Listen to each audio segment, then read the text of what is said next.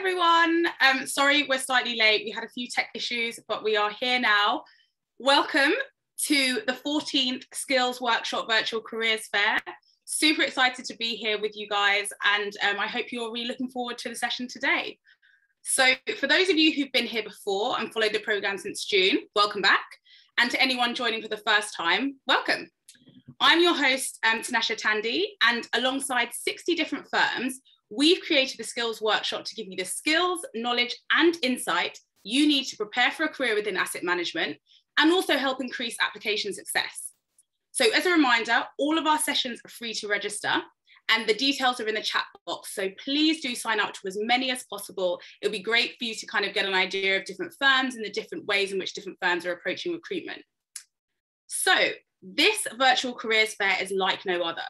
So I guess following on from the pandemic and the virtual world that we've been living in, we have been able to create something truly special. Mm.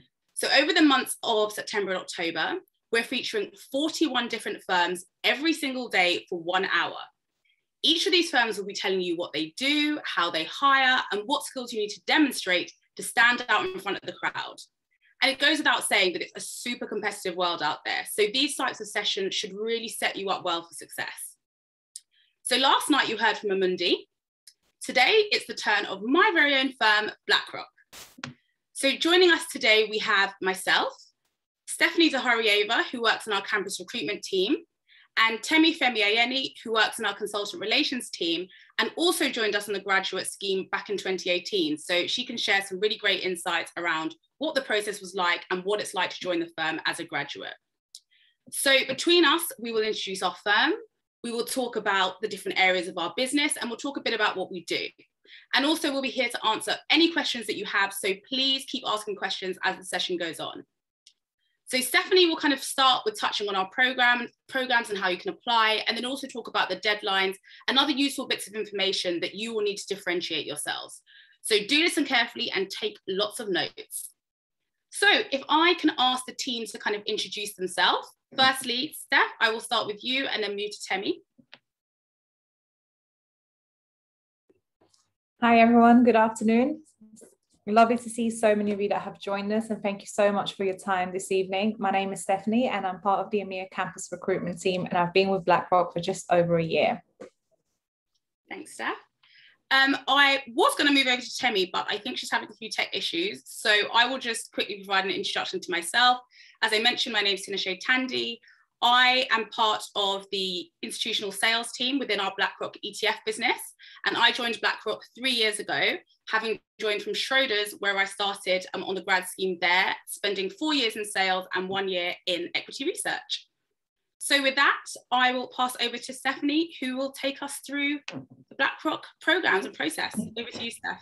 Thank you so much, Nashe. Welcome everyone once again. Um, I want to give you a quick overview of our various early in career programs, our recruiting process, and how you can make a successful application to BlackRock.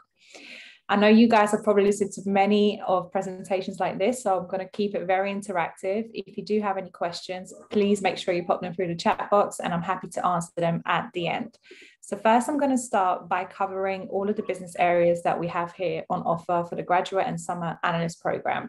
We cover 11 business areas and they are advisory services, analytics and risk, business management and strategy, business operations, finance and internal audit, human resources, investments, legal and compliance, marketing and communications, sales and relationship management, and technology all of those roles of all of those teams have detailed explanations and job specs on our website and i'll provide you with the link after the session you can go and read in further detail to see which one's most suitable for you if i move on to the next slide I want to highlight our four core early career programs you can be considered for depending on your eligibility.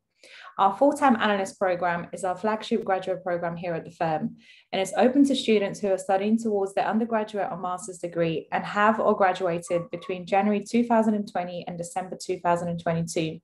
Candidates must have less than 18 months of directly full-time relevant work experience. The full-time analyst program, which typically starts in early August, is a multi-year training journey designed to empower and support analysts in connecting their personal passion and strengths to BlackRock's mission, principle, and purposes. The program begins with orientation to learn about our purpose, business, and strategic priorities, all whilst gaining insights into the day-to-day life here as an analyst at BlackRock. Following orientation, analysts join the business areas and stay connected with their colleagues across the globe through ongoing training and professional development. This program offers analysts the chance to have a lasting impact on the firm and contribute to something greater collective purpose to help more and more people experience financial well-being. Opportunities for this program are available across most of the European locations.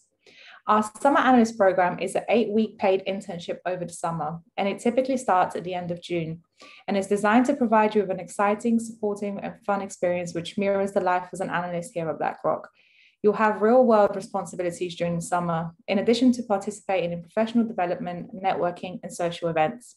The Summer Analyst Program acts as a feeder to the full time analyst program for the following year.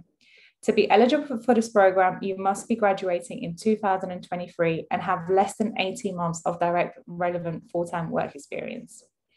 The third program I wanted to highlight is our placement and our off cycle internship programs.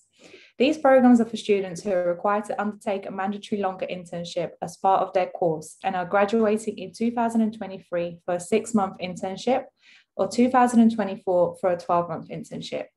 If you're studying in the UK and you're required to undertake an industrial placement as part of your degree, you can apply for opportunities on our placement program. These opportunities are available across our technology and sales and relationship and relationship management businesses.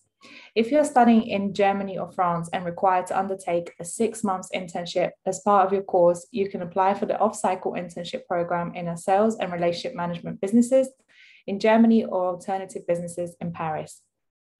And lastly, sorry one second and lastly if you're in your if you're currently in your first year of a three-year degree and a second year of a four-year degree graduate graduating in 2024 you're eligible to apply for a spring insight program offered in our edinburgh london milan and zurich offices the spring insight program provides you with a week-long in-depth look at our businesses You'll experience life at BlackRock through classroom sessions, work shadowing, networking, and social events. The Spring Insight program acts as a feeder to our summer analyst placement off-cycle internship programs. In addition to our core programs, we do have two other programs we offer to our students. Firstly, our Women of the Markets. This is an interactive program designed for women who are passionate about building and analyzing investment strategies, portfolios, and products. The program will take place between the 18th, 19th, and the 22nd of October. Undergraduate or master students with less than 18 months of full-time work experience who are graduating between Jan 2022 and December 2023 are able to apply. And secondly, our Black Heritage Insight program. This program helps students students learn more about BlackRock who we are and what we stand for. It features Black professionals at various stages of their career, providing an insight look in what it means to be part of the world's largest asset manager. The program will take place between the 20, 20th and the 22nd of October. Once again, to be eligible for the program, you must be an undergraduate or master student with less than 18 months of full-time work experience and you're graduating between Jan 22 and December 2023. If we move on to the next slide, Uh, this is an overview of our general assessment process. When applying to BlackRock, candidates are able to submit only one program application to the program you are eligible for. However, as part of the application, you can choose up to two different business areas you can be considered for. So for instance, you can choose to be considered for technology support as well as Aladdin client services. The application process will be the same for all of our programs, and we'll start with a short online application form, which will ask you for your personal details as well as your CV. After you have submitted your CV, you'll then receive a link from HireVue to complete a short video recording in which your virtual cover letter. In this video, you answer two questions related to your motivations for the role and the firm. So how does it all work? You'll be able to click on the link either in the email from HireVue or in your application portal, which will take you to the video platform. You'll then be given the opportunity to test the system and do a practice question. However, once you start the virtual cover letter, you must complete it in one sitting. The question pops up on the screen and you have three minutes to prepare your answer. Once the preparation time is up, you'll be re recording your response for up to 90 seconds. You can cut both the preparation and the recording time short if you wish. There is no penalty to give a shorter answer than 90 seconds. It is very important to note if you apply to two business areas, you're required to complete two cover letters, one for each. If you apply for a role outside of the UK, you're required to answer one of the questions in the local language. Cover letters must be completed within 72 hours of submitting your CV. This also includes the weekends. So please make sure once you apply, you only apply once you're ready to complete the cover letters. These cover letters are then reviewed by the teams you apply to, who will shortlist the candidates they wish to interview. At first round interview, you'll participate in two times 30 minute interviews conducted via live video with the member of the team of which you applied to. These interviews will focus on BlackRock's principles, but you should also be prepared to answer technical and motivational questions. If you are successful at first round, you will then be invited to final stage interviews, all conducted virtually. The structure of the assessment stages varies depending on the division. However, these will typically consist of further interviews, perhaps a presentation or a case study. There is an exception to the process I've just explained. It is if you apply to a software engineering position. If you apply to a software engineering role, you'll be required to complete a short coding challenge instead of the cover letter. The coding challenge is primarily in Java. However, you have the choice of answering the third question either in Java, JavaScript, or Python. At the end of the coding challenge, there is a short video question. The coding challenge must be completed within 96 hours of submitting your application. So to summarize, Please submit your application online to one program and you can select up to two teams. Complete the relevant cover letters and coding challenges within the deadline. And if you do not meet the deadlines, your application is considered incomplete and will not be progressed. All of our programs and teams are now open for applications and the deadlines are up on the screen. This is very, very important. If you are interested in Women of the Market or Black Heritage Insight program, the deadline is this Friday. So please make sure you get your application in. All of our other roles are analysts, summer analysts, placement and off cycle program. The investment business areas are closing on the 22nd of October and all other business areas on the 12th of November. And if you are interested in our Spring Insight program, all business areas are closing on the 3rd of December. I'm going to keep this slide up for a couple of moments in case anybody wanted to take a screenshot or take a picture just to remember. But all of this information is also available on our website. If I move on to the next slide, I'm going to open it for questions very shortly. If you do want to apply, please make sure you visit careers.blackrock.com forward slash early dash careers. Make sure you stay connected with us. We post a lot of article and articles and information on LinkedIn, Instagram, Twitter, and Facebook. And of course, if you have any questions, please don't hesitate to email us at campusrecruitment at blackrock.com. I'm going to pause here for now and take any questions if there are any. Thank you, Steph. Um, so we're going to open it up for um, some questions now. So thank you so much for all the questions that you've been posting um, in the Q&A. Please keep them coming in the Q&A. I know some of you have posted some questions in the chat, but if you could put them in the Q&A, that would be great. Um, so I am going to kick things off with a question for Temi. So Temi, um, please could you introduce yourself and then also tell us a little bit about your journey to BlackRock, why you chose BlackRock, and I guess your experience so far. Yeah, thanks, Nasha, and hi everyone. Sorry again for joining a little bit late. I had some technical issues. Um, but yes, my name is Temi. I joined BlackRock 2018 on the graduate program, and I also interned the year before in 2017 on the um, in our global consultant relations team. So it's one of our sales teams at BlackRock. Um, so I guess why I cho- chose BlackRock, honestly, I think it was the people. Um, I like many of you guys kind of applied to lots of places um, during my um, second year of uni when I was like looking for different internships. And um, I, I would honestly say, like, I think just from the interview process itself and like speaking to people at BlackRock and coming in for like, you know, these kind of events and and like the um, sort of um, yeah sort of networking events and everything like everyone i spoke to was just super, super nice um, and it seemed like a place where you know every firm has like their principles and their website and everything but it did actually seem quite genuine at blackrock so that um, that definitely stood out to me versus um, other firms that I was interviewing with. Um, and then when I joined as well in the internship, um, of course, like an internship, you, you know, you're trying to impress like the people, but also you're using it as a way, you know, to confirm that that's the place you want to be at. So I definitely, you know, met with lots of people, spoke to so many different people, and I just, again, I really enjoyed my experience. I felt like, you know, the principles were sort of um, resonating with everyone there, as many people as I spoke to. um, especially like you know the one BlackRock element and the collaborative element, which is something I really wanted for I guess my first kind of it was going to be my first job out of uni and my first corporate experience. So I definitely wanted somewhere that would um, have that sort of collaborative um, like principle and like you know that would be living it in you know in practice and um, someone that would give me lots of exposure. I've worked, I'm in a sales team, so it's a, it's a more generalist role. So I kind of knew my skill set. I didn't really know exactly what I wanted to do. So I wanted a role and a firm that would kind of, um, you know, allow you to learn as much as possible and be exposed to different parts of the business. Um, so that's kind of why I chose BlackRock. I hope that's answered the question.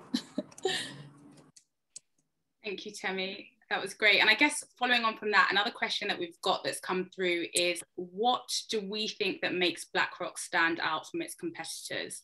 Um, and I guess I can kick this one off. I would say, from my perspective, I think it's the people. I think the um, mm-hmm. quality of the people, I think the attitude of a lot of the people that we work with, I think is amazing. I think everybody is, everyone is kind of working towards a common goal. People work really hard there aren't any slackers everyone kind of wants to get the job done and wants to get it done to an exceptional level and i actually think the people are just so nice and i think before i joined blackrock honestly i think i came from a firm that was very much like a family and i was very comfortable there and i joined blackrock and i thought okay BlackRock, biggest asset manager in the world. This is going to be terrifying, and the people are going to be super scary.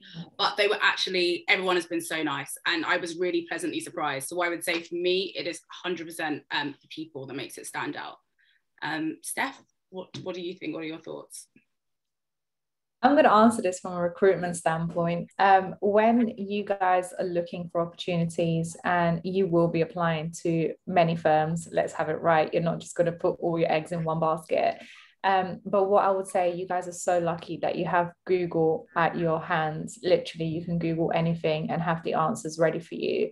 And when I was actually interviewing for BlackRock, I went onto Glassdoor just because I wanted to see what kind of feedback people leave about BlackRock. And what really stood out for me, and that will touch on, on Tinashe's point as well about the people, is even if people that were leaving reviews were not successful at their roles, they had nothing negative to say about BlackRock. Um, they were very thankful for the feedback they received, etc. And for me, that really stood out because most firms, when you apply, you just genuinely get like a generic rejection email, and that that stays there, and you never hear back from them again. Whereas BlackRock goes out of their way to make sure you do have detailed feedback, and if you do reach out, you would always get a response to me that says a lot about the people that work there. And like Tinashe said everybody actually cares about the job they're doing and they want to perform to a high level. I think a lot of that also comes from our senior management. It's filtered down to everybody and the directions are very clear. We also have our core values um, and everybody kind of lives by them as well. So that is very important at the firm Um, so we've had um, a few questions about um, what happens if somebody has more than 18 months experience, work experience, and then also, I guess, as a byproduct of that, um, are there any programs available for MBA students? Yep, I'll start with the MBA programs. They're currently only available in the US. Um, so if you are interested in MBA, then you can have a look at the Americas um, work experience. But we have an MBA program just in the US at the moment. We haven't rolled it out in Europe. Um, in terms of the work experience, is it direct, relevant work experience to the role you're applying to, or is it like a retail job? Because that wouldn't be classed um, as direct, relevant, full time experience. So if you have, let's say you're applying for um, investments and you've spent, I don't know, two years working in the investments team at a bank, uh, then yeah, that would be classed as relevant full-time work experience. But if you spent two years working at Zara, that wouldn't be. Um, so yeah, it really depends. Yeah. Um, and a question, another question is, how much of a disadvantage are we at if we apply for a full-time analyst program if we haven't done a spring insight or summer internship? So maybe Steph, you can answer that from, I guess, the recruitment perspective, and maybe Temi, your experience of kind of joining the grad scheme as an intern and when other grads have joined who weren't an intern, how they kind of found the experience. Definitely. I'll start from a recruitment standpoint. Um, you're not at disadvantage because we do want to see students from all different backgrounds. Um, I would definitely say if you don't have any work experience, please highlight um, any societies you're part of, any extracurriculum activities that you do outside of um, school, uh, college, university. Um, also, if you've done any kind of things like Jack Petchey Awards, all of that, make sure you put it on your CV because that just really shows what kind of person you are. And you need to remember that your CV is the first document and representation that we see of you. We don't actually get to meet you in person. So make sure you list all of the things you've done on there. Um, even if you do voluntary work, etc., that is very important. So just put it on there. Yeah, I would kind of just echo what Steph has said. Um, I don't think it would really put you at a disadvantage. I'm thinking of like some of my friends who didn't do the internship and we kind of all did the same kind of graduate training together. And obviously your own your your individual respective teams will give you the training required because again, like my experience as a summer intern versus now as a full-time like associate is is different. Like I, you know, even I got to do some projects and stuff. I wasn't like stuck in the work. So I think the team still recognized I would need training. Um, and like my individual team um, gave me the necessary like training that I would need to kind of get started in the role. And then HR will uh, obviously do the uh, um the overall grad training as well. So you get to meet other people because yeah, I think that would be the only maybe advantage I would say. Like you know people before you come in as on the grad program if you did the internship. But again, there's so many opportunities to like network and meet other grads and your team will also introduce you to lots of people across the firm so i wouldn't really say there's a major um, disadvantage um, from not doing a summer internship Amy.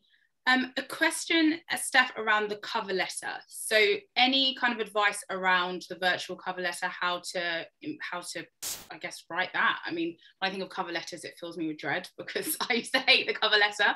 But yeah, any any hints and tips for the cover letter? I would definitely say write some notes down and maybe practice with a friend to make it look a little bit more natural. Um, you guys are actually at an advantage given it's been COVID the last two years, so everything has been online. So you should be used to kind of recording yourselves or being on Zoom or WebEx. Um, one thing I will say is when you are ready to record your cover letter, make sure you are in the room on your own with absolute silence. You know, you don't want your mum coming in saying your dinner's ready or something like that because that can throw you off off um, and straight away you know you might be disabled from the um, cover letter. So make sure you are somewhere where no, nobody is disturbing you. Definitely keep some notes with you and you can even stick them on the wall in front of you um, and then you can just read off them if you need to I know they're super awkward, um, but just try to practice and prepare your answers. Um, like I said, you know, there is no right or, or wrong answer for the virtual cover letters. It is literally your opinion. Obviously, I can't give you the questions, um, but yeah, just prepare, research the firm, what we do. Um, I would also say read about current news that we're featured in recently, um, and that will give you the edge above other people. Don't just read Wikipedia. when um when I saw the question that said virtual cover letter in my mind, I thought it meant like a Word document that you're just submitting online, and I was like, well, didn't we do that anyway? I didn't realize it was an actual video now. It's a video, yeah. So you have to record yourself. Um, you get you get like a test run, um, and then you have to record yourself, and you have like ninety seconds per question to answer. Okay. Yeah. I would say also, I remember because I yeah, you've done it, so you can give yeah. them some tips. I definitely did a few practice runs. Um, one thing that surprised me was like how quick 90 seconds go by. So I practiced a few questions, but um, definitely, I think when you're speaking in person, you just and you know you don't have a time limit. You use so many like filler words and all of that stuff. So before you know it, like 90 seconds has passed and you haven't actually answered the question. So definitely practice and practice with a few kind of different you know, sort of questions that you may kind of expect, um, just to make sure you get all you want to say in 90 seconds. So yeah, definitely practice, practice, practice, and try and be concise. Thanks, guys. Um, I guess on that, following on from that, so we've got some questions around how do you prepare for technical questions, particularly if you are um, applying for an investment area. Um, I guess I can kick that off and say that I think for me, I did not have any sort of financial background when I was applying for graduate schemes. And so that was probably one of the most daunting bit because it was essentially saying I need to just understand like, what the stock market was, going from that kind of basic um, level. And I think the biggest bit that helped me was just simple things like the Financial Times, The Economist, just reading market news. And then where there were things that maybe I didn't understand, Googling what those things meant, trying to get a definition of those things. And then the more articles that I would then read, it would then start to make a little bit more sense. And let's be honest, like when I was answering some of the questions, there were, I'm not, I'm not saying I fully understood what I was saying myself, but at least I could say something that was probably convincing enough. And I would say that, yeah, reading articles FT was definitely a main way of doing that. And I think also try and speak to people who are doing those roles already because they can give you a really good um, idea around the kind of areas that you should focus on and just give you kind of hints and tips around what things mean and the kind of things that might come up in an interview. So yeah, just use your resources around you, use your internet and speak to people and join events like this would be my advice. But what do you guys think? Yeah. Yeah, I agree. I would also say that like be honest like don't mention something that you haven't researched or you don't know anything about because yeah. if you start talking about i don't know like China, um, China clamping down on like you know their sectors and then like you get um, asked further and then you're like actually I have no idea what I just said then that will look quite bad so I think just kind of mention what you're comfortable speaking about and you know if you're applying for like analyst and, and internships people luckily don't expect you to know that much so like as long as you know you have some sort of commercial awareness especially if you're applying for like a markets role an investment role um you know be able to speak about what you can. But yeah don't kind of go down a mention something you have no idea about because if they kind of you know ask you further you don't want to kind of embarrass yourself. So yeah i would just say kind of yeah research but you know don't mention anything you're not comfortable with talking I about. echo absolutely everything you guys are saying. Um, but you touched on a very important point there, Temi. Make sure you're not lying. Don't lie on your CV and don't try to kind of fake it until you make it in an interview because you can easily be caught out. Um, yeah. If you don't know the answer to something, just be honest. Um, you are a human.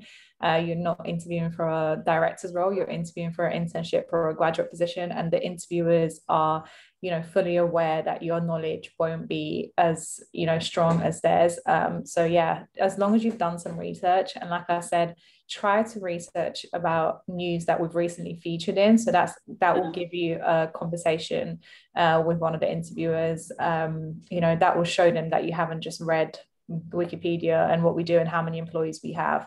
So just try to think outside the box. Um, mm I would also say try to get a mentor in the industry as well. Um, you know, I know sometimes people might not respond on LinkedIn or whatever, but at least you've tried. Um, and most of the times people are there to help. So if you are really interested in a certain position, I don't know, maybe just reach out to people and ask them to, you know, help you or become a mentor. And most of the time people will say yes completely agree. And I think just to um, add on to that as well, I think ultimately people are looking for potential. So they aren't, yeah. like they said, they're not looking for the ready-made products.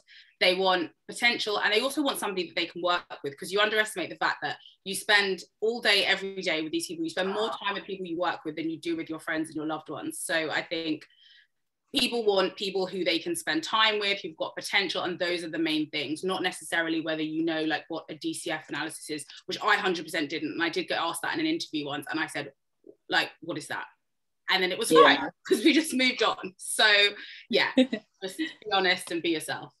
Um i think next question which kind of leads from that. So a bit about you guys kind of background. So what did you kind of study at university and kind of what made you want to go into finance um, I can go. Um, I actually didn't go to university. Well, I did, and I left after my first year. Um, it just wasn't for me. Um, I did an apprenticeship and I kind of worked my way up. Um, but I've worked in finance in the last 10 years. Um, I started as a recruitment coordinator, and yeah, I just kind of feel like I fell in the right place at the right time.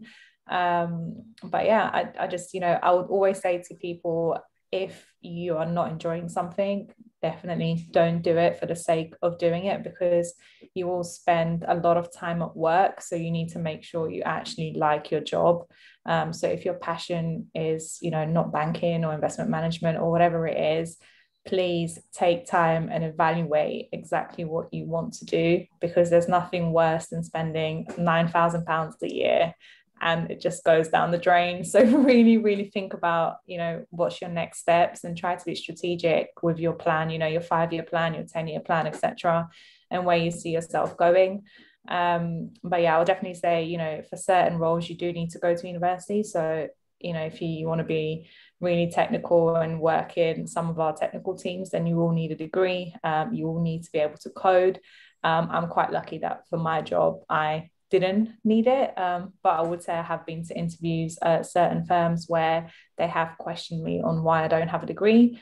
And maybe I just never got the role because of my education. Um, so I'll definitely say, you know, education is key. Do get your degrees. But if it's something that you're not passionate about, then definitely look at alternatives and how you can train yourself up. Um, yeah, so I did philosophy and economics at uni. Um, I didn't actually know I wanted to go into finance. I kind of just did it because I was indecisive. I did both at A levels and I was like, I might as well do both at uni because I didn't know what to pick. Um, but so I think a lot of people who picked economics at uni as a degree kind of did it with the intention of going into finance. So I made all these new friends like Freshers Week, and literally after Freshers Week, everyone was talking about Spring Weeks, and I'd never heard about it before. so I started going along to like all the talks, and like not I went to the University of Nottingham, and we have like a really big economics and finance society. Um, so um, quite a few firms kind of come to uh, like our uni to give talks, and um, you know we just have lots of events around that. So I just started going along and just started knowing more about I guess the different roles you can have in finance. Mm-hmm but I honestly, to be fair, I wasn't still that convinced. Um, and so my first year actually did an internship at the civil service just because I didn't know what I wanted to do. So I kind of was open to various things. So I applied to different like sectors and industries. Um, so I did like a two week internship at the civil service. Uh, liked it, but I kind of wanted to do something else um, in my second year, like of you know work experience. So I applied to more kind of private sectors and corporate like um, sectors and stuff. Um, again, didn't know specifically I wanted to do um, you know, go into the asset management industry or anything. So I did a few different roles within finance. Um, ended up um, accepting the role at BlackRock and um, realized that I did quite enjoy it. Um, and it kind of was um, quite suited to my skill set and, you know, would give me kind of the skills and what I wanted out of like a, my first job out of uni. But um, so yeah, kind of ended, ended up in the industry by accident. Um, but um, yeah, I would say you don't like in my role because it is more of a generalist role um, I would say I think everyone does have a degree, but most people, um, you don't technically have to do an economics degree. There's people in my in my team who kind of did history or did music or did languages and, and things like that. So um, I would say you know just kind of study what you want at uni and what you enjoy. And most roles apart from you know if you don't require you to you know have a specific degree especially as the, the industry is evolving and trying to get more diverse candidates into you know certain industries. So i have friends who are like you know portfolio managers in equity who like did history. So it's definitely um, um, the yeah the industry is definitely getting a bit more open-minded with things like that. So i think it's yeah it's okay I would definitely echo that. I would say um, if you do want to go to uni, do what you enjoy because, and especially yeah. now with it being nine thousand a year, like really do what you enjoy because yeah. I I did not study anything finance. I actually studied economics for six weeks and then decided I didn't like it and then changed to law. And I am no, I'm not a lawyer. I work in finance, so I was completely confused. Um, but the moral of that story is my degree actually just doesn't I mean, I did not need my degree to work to do what I'm doing now. And I think to Temi's point, we work in kind of similar business areas. Like people have very broad, different degrees, and it's just it's more about the kind of skills that you have and i guess in being in like a sales role like being good with people being um, interested in people yeah.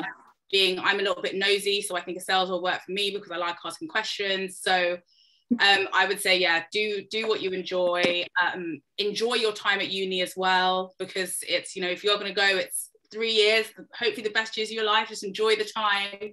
Um, but yeah, just don't think. I mean, I guess certain roles you probably do maybe need to do specific maybe subjects, but I would say broadly speaking, um, yeah, do what you enjoy. And I would say I kind of came into it just because I think similar to Temi, when I was at uni, a lot of my friends were kind of applying for jobs and going to like campus recruitment sessions and I just kind of went along because I thought, okay, this seems interesting and I feel yeah. like I could be doing it.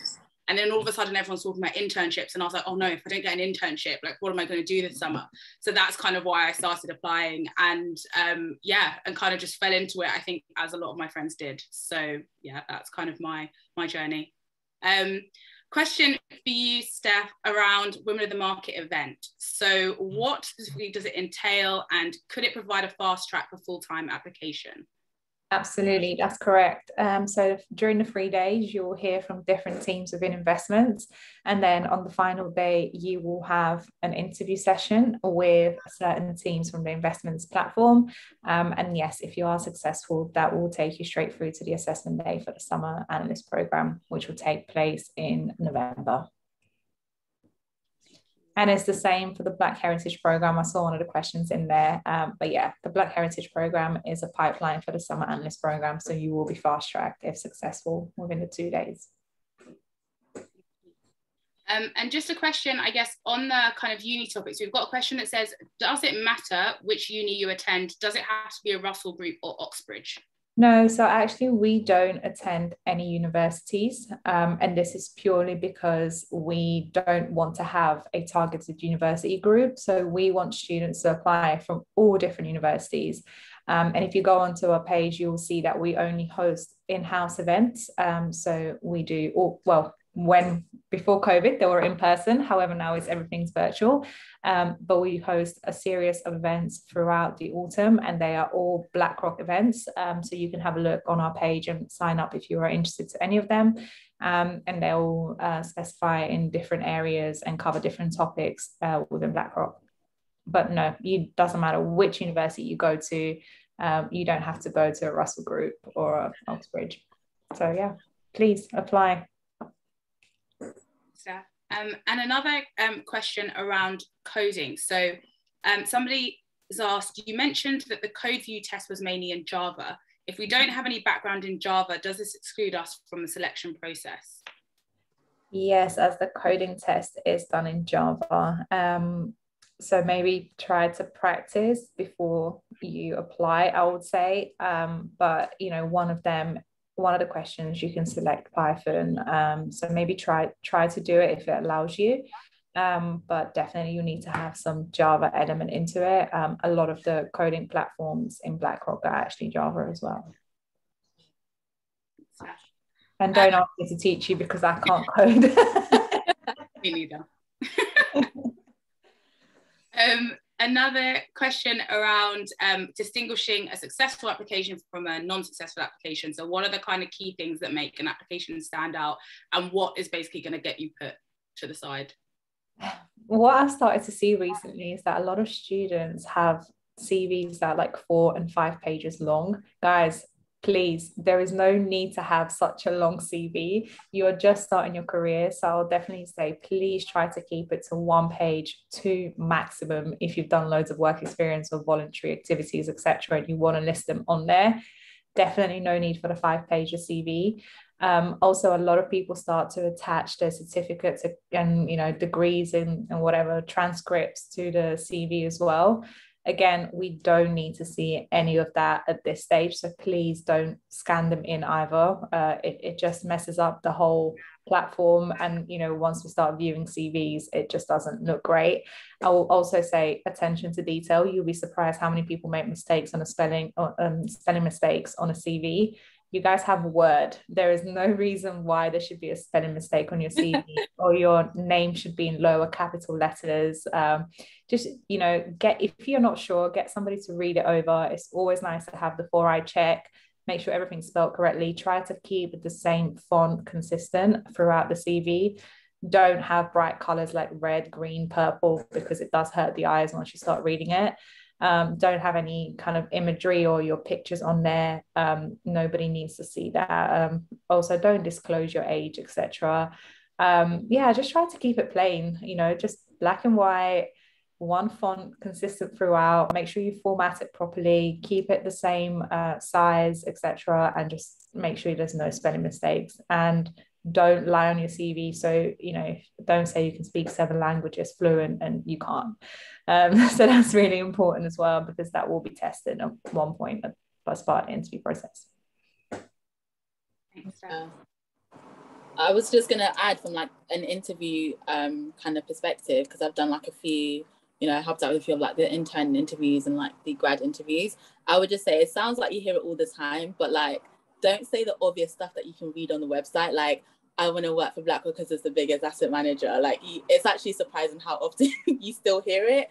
Um, so I would say just be a little bit more thoughtful in your answers and show like you've done a bit more research and like, you know, even if it's stuff like the principles or, you know, Larry's letter or like stuff you've heard about BlackRock in the news, like just draw from different, like maybe not so obvious experience, um, you know, answers. And even if like you are going to say it's the biggest, like, you know, m- mention why that's impressive and, you know, talk about like, you know, further reason than just because it's the biggest asset manager.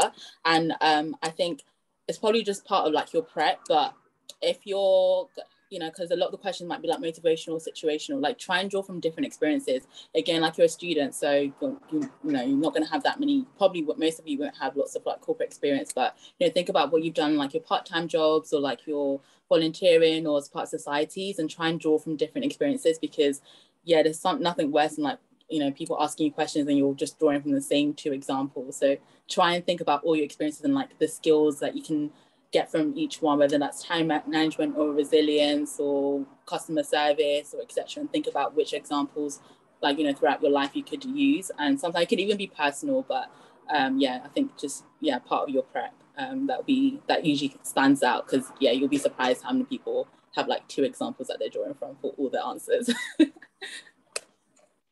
Thanks, Terry. And I think just to add to that, something that I was really impressed by um, this year actually in the interview process was coming across a few people who had not only spoken to people at the firm, but had reached out to people and they didn't even know those people and kind of yeah. reached out to them on LinkedIn, had a chat with them beforehand, and then come to the interviews fully versed in BlackRock as a firm and not, as Temi said, just the obvious things that you can read. And I thought that was super impressive because I think it took guts to reach out to somebody you don't know and also to really try and understand the company and then also to speak about that. So yeah, yeah definitely kind of not not the obvious.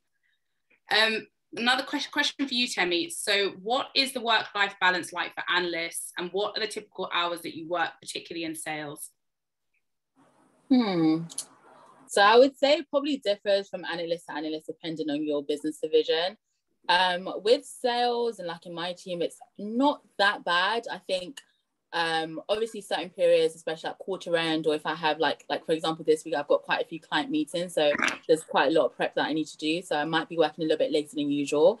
Um, but I would say I can probably like, I don't know, maybe like 8 9 to 5 36, sometimes a bit later. But I think what's what's more important is that there isn't really much of a FaceTime culture. You know, whilst you know, virtual said there's not much face actual FaceTime, but even pre-pandemic, you know, if if I'm done all my work and I literally have no reason to hang about, I don't actually have to like, you know, just chill about and, you know, um, stay in the office like, you know, past five or 5.30 if I'm not, if I don't have anything to do. So I think it's like, it's more of a culture of like, make sure you get your work done. Um, and yeah, naturally there'll be, you know, times when it's a little bit busier. So you work a bit longer you start a bit earlier just to make sure you get your work done on time and you prioritize you know your clients and your like you know your work deliverables. But i would say it's it's yeah it's not that bad. Thankfully there's not much of a FaceTime culture. And we also have like our flexible time off where you know you can take time off and um, you can work from home even though we're all working from home now. But um, so that kind of helps with that um, work work life balance as well. So yeah i would say it's not that bad but it varies yeah i would um i would echo that as also being in a sales role, I think, yeah, similar kind of hours. But I think the ultimate thing is like we are treated like adults, and it is like yeah. we are adults here. Just get the work done. So if the, if getting the work done means you're kind of done by five o'clock, great, go and live your life. But if getting the work done means that you might need to be working till like eight o'clock on occasion or nine o'clock on occasion, that's just how it is. But it's not an expectation where you're just going to have to just sit there just to be seen to be sitting there. Absolutely not. And that's one of the things that I love about our firm. And I actually think also post the virtual world we've, we've been in and kind of going back into the office, I actually think there's going to be even more flexibility. So we're talking a little bit more around kind of flexibility around time that people go into the office or time that people leave because factoring in commutes and things like that. So I think, yeah, we're adults, kind of manage your own time, but it generally speaking, the I, I mean, I think the hours are great, particularly when I speak to people at other firms and friends at other firms where it can be very different. So yeah, I think it's, I think they're good. Um, question for you, Steph. Um, when do you, applicants begin to get shortlisted for first round interviews? So we screen all applications after the deadlines. Um, so you'll be able to hear back after the 22nd of October for investment investments businesses and 12th of November for uh, all other areas. Uh, typically give us about two to three weeks just because different teams recruit at different stages. Um, but definitely all interviews will happen before Christmas.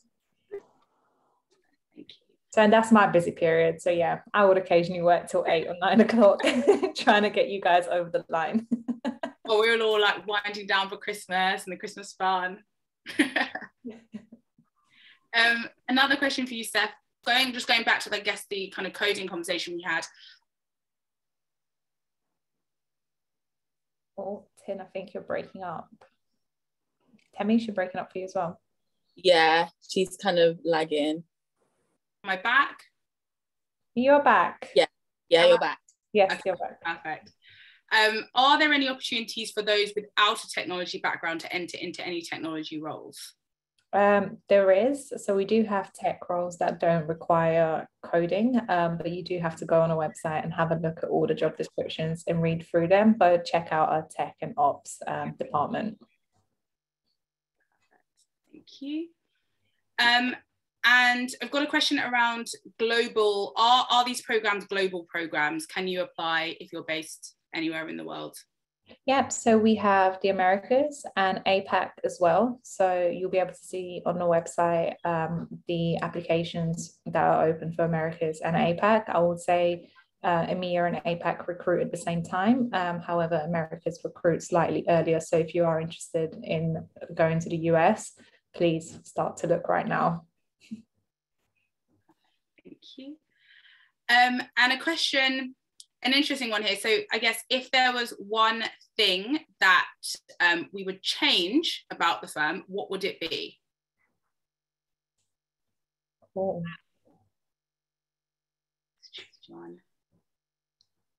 I, I would have to say nothing. it's the honestly i'm not just saying that but out of all of the financial services firms i've worked in is the best firm i've worked at. And actually when i wake up in the morning i'm happy to go to work. I don't just think oh it's another day.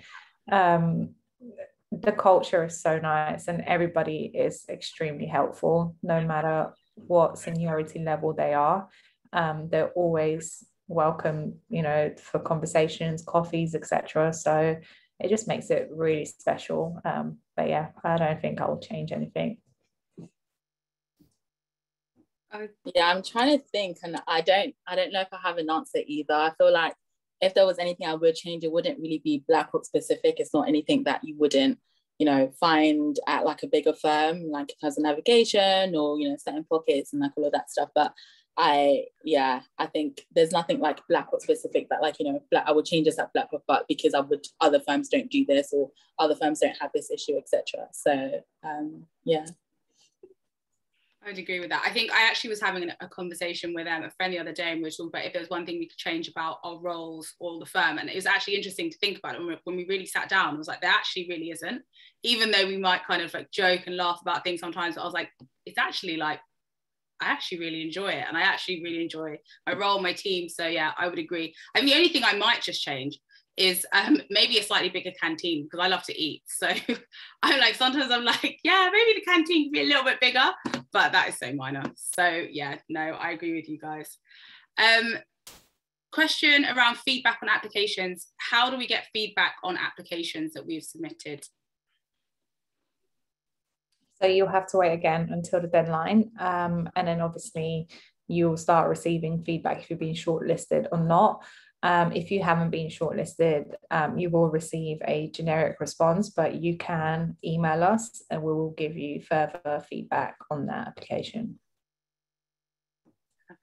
but make sure you're applying for anything that you're only eligible for. So, you know, don't just apply for a random role that you're not applicable to apply for because then it's just a waste of application for you. So, you know, make sure you read and don't actually just waste your own time. Thank you. Um, and a question around um, military. So, does BlackRock offer military transition programs for veterans and service leaders? Yeah, we do, but you will have to specify that on your application. There is a box where you can add it all in. Perfect. Um, oh, this is an interesting one. So, do you think we should list all volunteering or Saturday jobs and awards we've done on our CV or summarize slightly? I mean, how many Saturday jobs have you had? But I wouldn't go all the way back to when you were 14 and you were doing, you know, the, the paper round on a Saturday. I mean, I wouldn't go that far down, but I would say anything kind of A level up, um, I would put on there because that would be quite relevant. Um, in terms of awards as well, I wouldn't go back down to, I don't know, year eight or year nine where you received a merit for something. Uh, try to keep it in like the last five years. Thank you. Um, and one for you, Temi. For sales, do you get assigned to a certain asset class or is it rotational?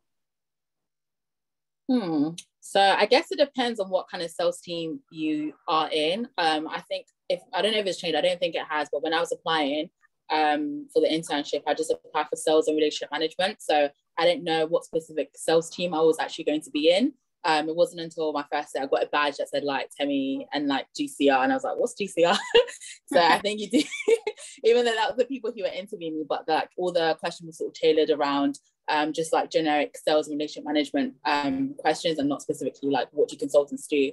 Um, so because of my specific team, um, we, we're generalists across different asset classes. But I know there are sales teams, for example, I don't know if you're based in like in an iShares, iShares sales team, you are probably more focused on like ETFs and and things like that. But um, yeah, so I don't think you get a choice as, as to which specific sales team you're going to be you're going to be in. Um, so it will depend on what you're placed in. So it can either be more generalist like mine, or a bit more specialist, um, like an iShare sales team, or you know another asset class sales team.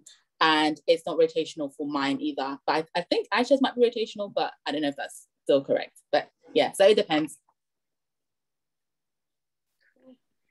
Okay, great. So to um, wrap up, the final question that I'm going to ask is, and this is a question that's always asked before we close, so of all the sessions, um, one word or maybe a couple of word answers. Can you tell us what you wanted to be when you were growing up?